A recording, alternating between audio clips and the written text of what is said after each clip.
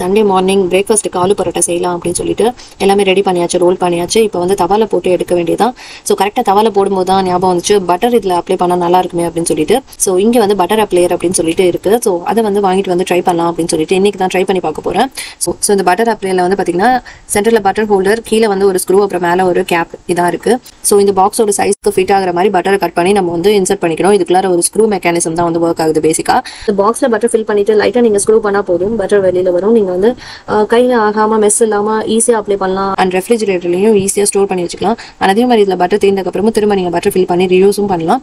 So இந்த butter அப்ளையர் எனக்கு ரொம்ப பிடிச்சிருக்கு. உங்களுக்கு பிடிச்சிருக்கா இல்லையான்னு மறக்காம கமெண்ட்ஸ் சொல்லுங்க. பாய்